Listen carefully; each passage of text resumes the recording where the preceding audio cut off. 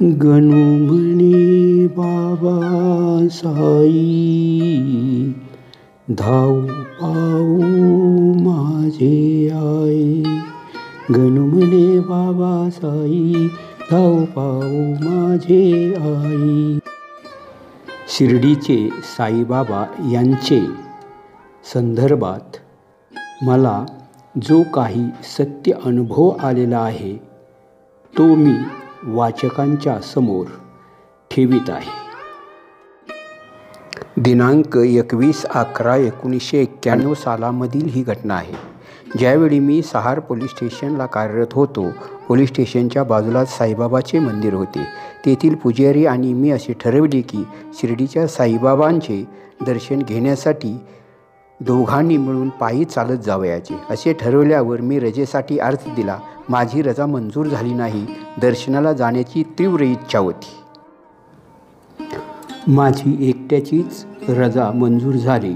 दुसऱ्या दिवशी म्हणजेच दिनांक एकोणीस अकरा एकोणीसशे एक्क्याण्णव रोजी पहाटे पाच वाजता शिर्डीला पायी चालत जाण्यासाठी पुजारी आणि मी रवाना झालो.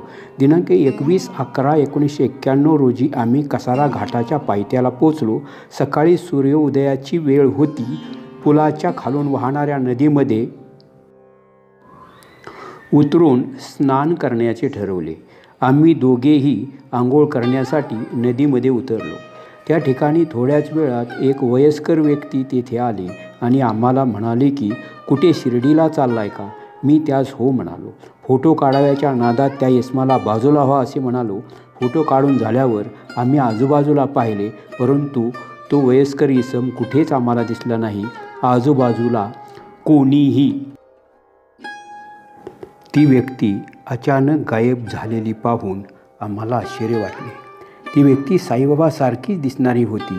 भगवंत आपल्या भक्ताचे रक्षण करतो परंतु भक्ताला देव ओळखता येत नाही. स्वतः साईबाबाचं आम्हाला दर्शन देण्यासाठी आले. रात्र आणि दिवस आमची काळजी घेत होते. सांगण्याचे तात्पर्य एवढेच आहे. नित्य घ्या प्रचिती अनुभवे. याप्रमाणे आम्हाला साईबाबांच्या दर्शनाचा अनुभव आला. साईबाबा म्हणतात जरी गेलो हा देह सोडून तरी धाव घेहीन मी भक्तासाठी.